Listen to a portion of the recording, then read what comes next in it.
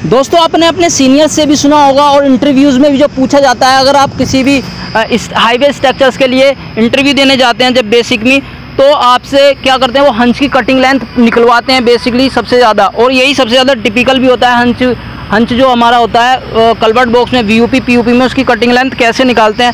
तो वो आपके वीडियो बहुत सारे आपने देखे होंगे, उसका वीडियो का लिंक मैं डिस्क्रिप्शन में दे भी दूँगा, हमारे चैनल पर ऑलरेडी है।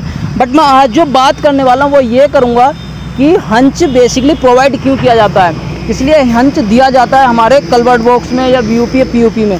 तो ये ये आप देख पा रहे होंगे दोस्तों सामने, हमारे कुछ इस तरीके का हंच आपको दिख रहा है। ये वो जो है, ये जो पोर्शन होता है, ये हमारा, ये दिखा हुआ हंच। इसको हम हंच बोलते हैं। अब ये दिया क्यों जाता है? देखिए, यहाँ पे भी दिखाया जा रहा है। ठीक है ना? तो ये मैं सेक्शन काट के आपको दिखा रहा हूँ ड्राइंग का। तो ये हंच प्रोवाइड क्यों किया जाता है? ठीक है ना? हंच प्रोवाइड इसलिए किया जाता है, होता क्या है, जैसे कि मैं यहाँ पे आ जाता हूँ, आपको दिखाएँ। हमारे जो टॉप स्लैब है टॉप टॉप स्लैब से स्मूथली लोड जो, जब हमारे टॉप स्लैब के ऊपर से कोई ट्रैफ़िक रन करेगा हाईवे स्ट्रक्चर तो वो कहाँ का कंस्ट्रक्शन जॉइंट प्रोवाइड करा के क्या करते हैं कि हंच प्रोवाइड दे देते हैं, हंच दिया। अब उस हंच से होता क्या है कि वो अपना लोड जो है स्मूथली जो भी ट्रैफ़िक है, उसके लोड को ट्रांसफ़र कर देता है हमारी वर्टिकल वॉल पे। ठीक है ना दोस्तों?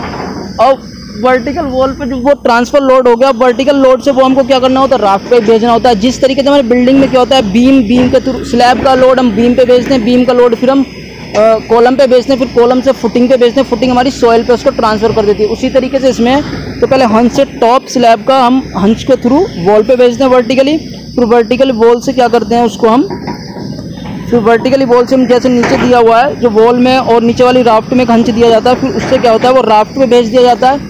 और फिर राफ्ट से लोड हमारा ट्रांसफ़र होके पहुँच जाता है नीचे सोयल पे।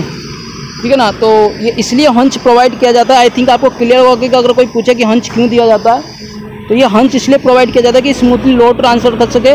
हमारे स्लैब से टॉप स्लैब से वॉल पे वर्टिकल वॉल पे वर्टिकल वॉल से हमारे राफ्ट पे राफ्ट से फिर हमारा लोड जो है ट्रांसफ़र जाता है सोयल पे। तो आइए क्लियर हो गया पॉइंट मिलता है नेक्स्ट वीडियो में। जब तक के लिए जय हिंद, वंदे मातरम।